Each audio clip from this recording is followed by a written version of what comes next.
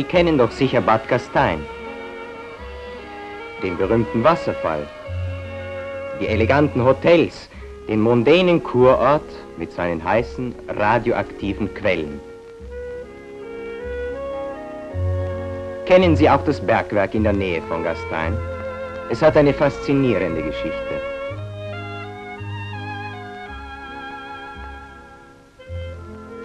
Bald nach dem Krieg machte sich eine Gruppe mutiger Forscher auf den Weg. Sie riskierten ein Abenteuer, das den Menschen Gesundheit bringen sollte.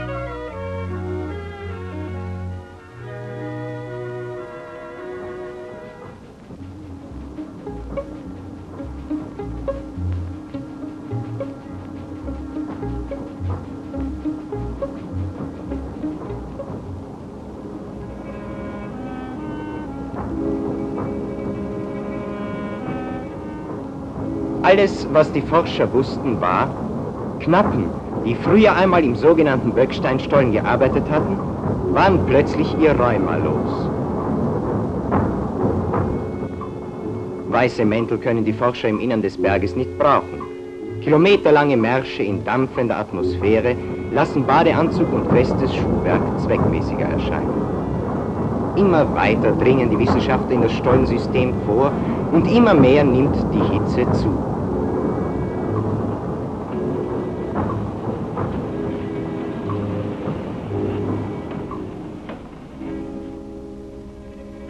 Die Gruppe trägt Spezialgeräte mit sich. Apparate, die in der feuchten Luft nicht rosten und die auch unter den schwierigen Bedingungen im Berg verlässlich arbeiten. Temperaturen und Feuchtigkeit müssen genau registriert werden. Die Radioaktivität ist zu messen. Für Untersuchungen wird Luft in Ballons gefüllt. Gesteinsproben werden aus den Klüften entnommen.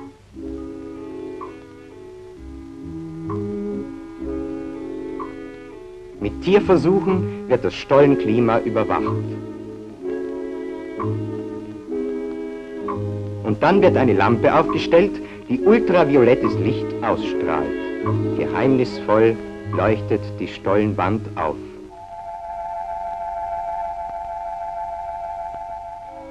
Hier sollen später einmal Therapiestationen angelegt werden, nachdem die Vorversuche günstige Bedingungen ergeben haben. Die ersten Patienten werden versuchsweise in den Berg gebracht. Sie bleiben dort ständig unter ärztlicher Aufsicht. Und manche sagen nachher, es geht mir besser.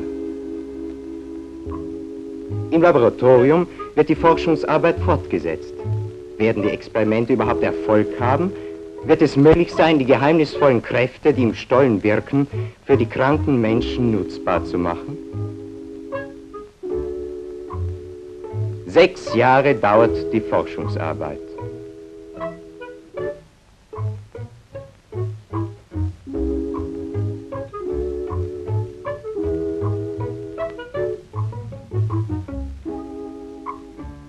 Das Für und Wider wird erörtert. Ärzte und Kranke horchen auf. Schließlich scheint es sicher, dass die neuartige Stollenkur den Kranken, in erster Linie Rheumatikern, tatsächlich hilft. Das war 1950. Und heute? Heute ist das Gesundheitsbergwerk längst ein Begriff geworden. Eine ständige Autobuslinie verbindet Gastein mit dem Stolleneingang im Nassfelder Tal.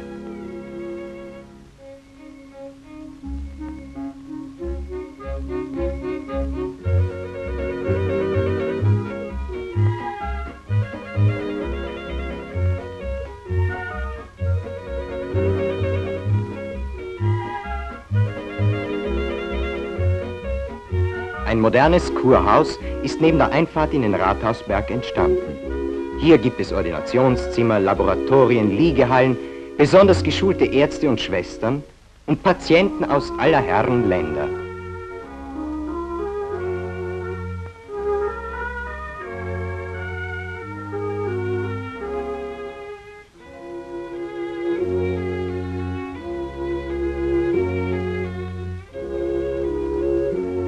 Von Jahr zu Jahr werden es mehr, die in dem Stollen Heilung suchen.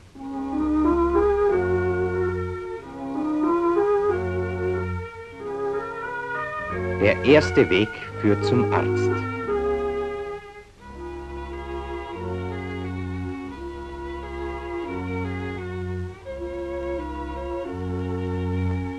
Er untersucht erst sorgfältig, denn nicht allen ist die Behandlung zuträglich.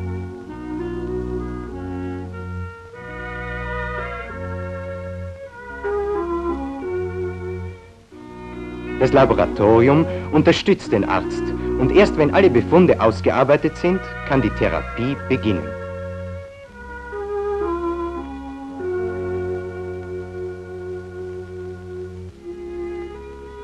Zuerst muss man eine Fahrkarte lösen, denn die Kur ist eine Reise, eine Reise in das Innere des Berges.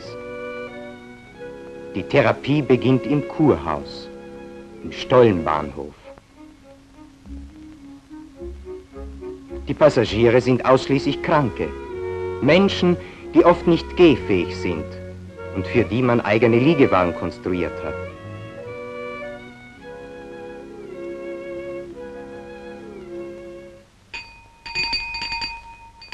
Die Fahrt in den dampfenden Stollen kann beginnen.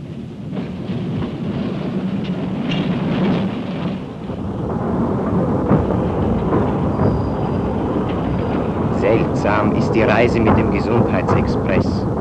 Mit jedem Meter, den der kleine Zug zurücklegt, steigen die Temperaturen.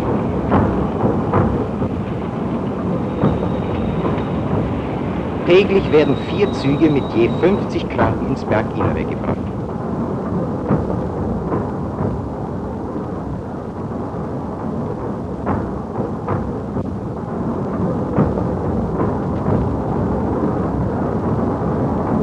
Therapiestation 1 ist erreicht.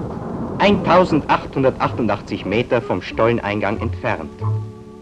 Nach Anweisung des Arztes werden hier einige Patienten zurückgelassen. Auch der Doktor hat in der drückenden Hitze seinen Ärztekittel abgelegt. Er ordiniert in der Badehose. Die Reise geht weiter.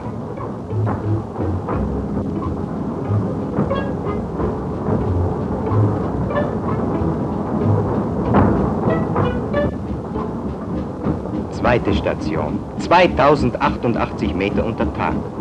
Die Temperatur ist auf 40,5 Grad gestiegen. Ständig hält der Arzt auch hier die Patienten unter Kontrolle. Die Körpertemperatur steigt an.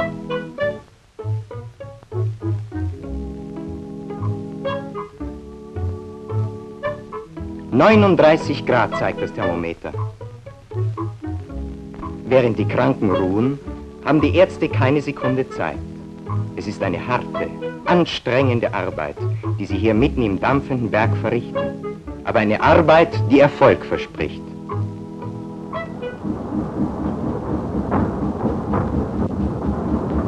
Tiefer geht es in den Berg hinein. 100 Meter weiter liegt die dritte Station. Wieder ist es heißer geworden. 41 Grad hat es hier. Schwerkranke brauchen während der Kur im Stollen ihren Liegewagen nicht zu verlassen. In allen Stationen werden nach Bedarf Waggons abgekuppelt und nach der vorgeschriebenen Zeit von der kleinen Grubenlokomotive wieder abgeholt.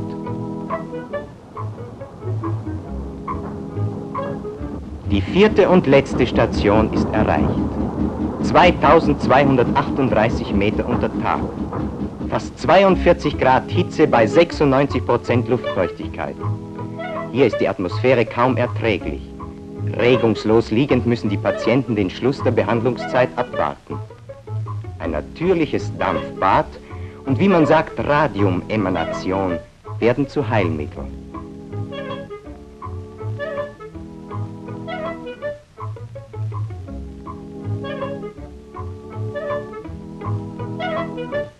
Genau dosiert wird der Aufenthalt in dem unterirdischen Spital.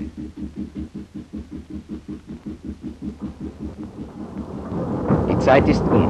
Aus dem dampfenden Stollen fährt der Zug wieder zurück.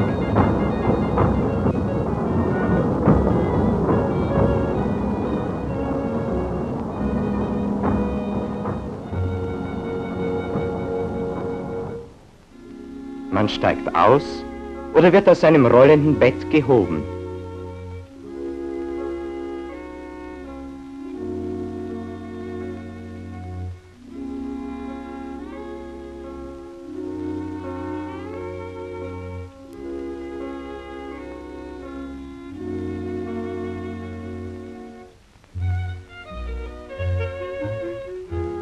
Irgendwie innerlich befreit und gelöst, wie neugeboren, spaziert man zum Bahnhofsausgang.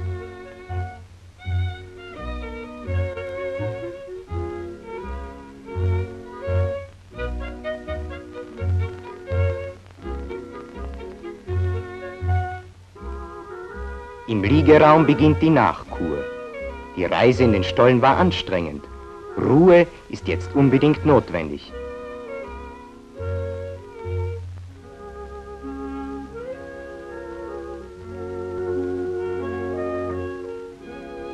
In geeigneten Fällen unterstützt Massage die Kur.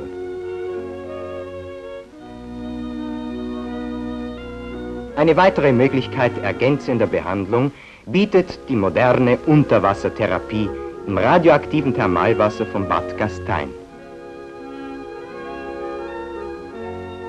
Die erste Bewegung seit langer Zeit, noch zaghaft unter Wasser, aber die Kranken sind glücklich und dankbar.